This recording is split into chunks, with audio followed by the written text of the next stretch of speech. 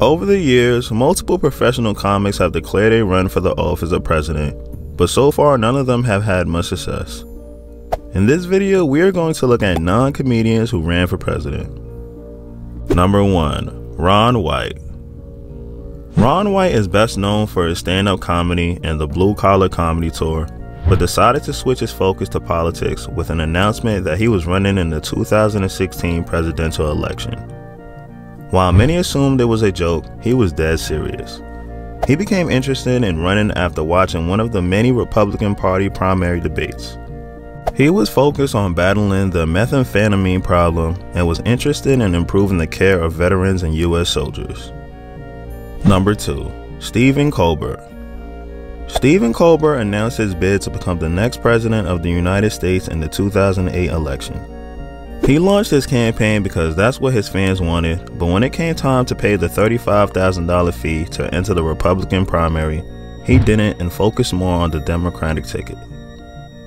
Number 3. Dick Gregory Dick Gregory was a pioneering comedian who rose to prominence in the 1960s.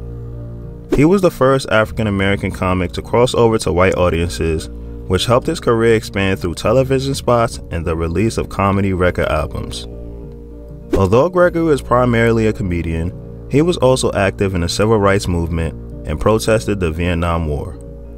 In 1967, he launched a candidacy to become the mayor of Chicago, but this campaign didn't work out. It elevated his prominence as a potential candidate, though. In 1968, he shifted his focus to more national matters by running for presidency. He managed just over 47,000 votes and was a legitimate competitor to Nixon. He left politics and got more involved with activism and wrote a book about his candidacy called Write Me In. Number 4. Roseanne Barr Roseanne announced she was running for President of the United States in the 2012 election.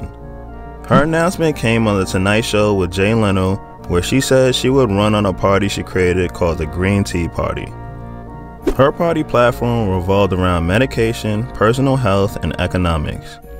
She failed with the Federal Election Commission for the Green Party, but lost in her party's nomination to Jill Stein, coming in second place. Number 5. Doug Stanhope Throughout his career, Doug Stanhope has made a name for himself with his comedian career, but he wasn't just a comedian, he's also a political activist with anti-government views. When the 2008 presidential election was on the horizon, he announced his candidacy to the Libertarian Party ticket. Stanhope's campaign never came to life and he was never a serious contender for any party's ticket. He still remains outspoken on the issues and it's all about candidates who are pro-choice and drugs. Number 6. Gracie Allen While the United States has yet to elect a woman for president, there have been many throughout history who ran as either the president or vice president. Gracie Allen was one of them who tried. At first, she was a comedian who became famous thanks to her radio program where she portrayed a goofy sidekick alongside her husband, George Burns. Though it was never serious, she launched her candidacy to become the President of the United States with her husband set as her running mate.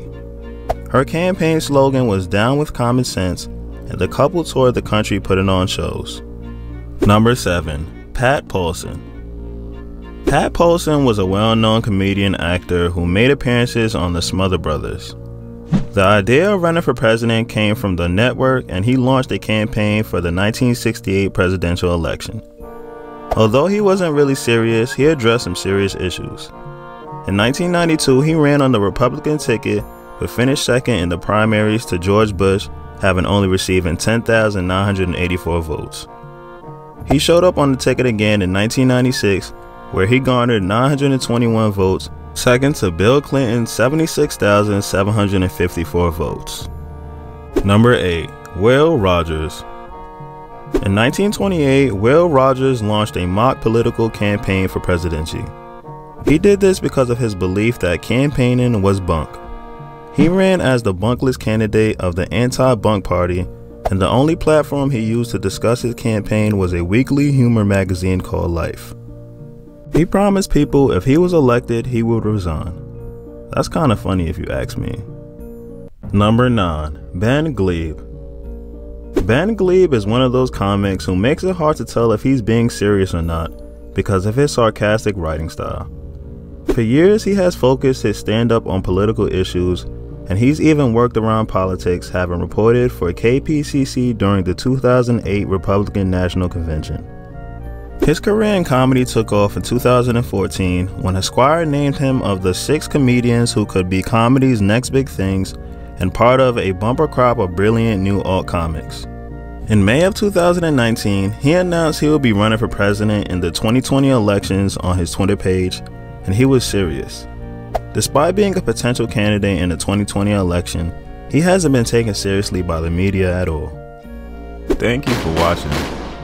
If you like this video and want to see more videos like this, make sure you subscribe to the channel, turn on the notification bell, and leave a like.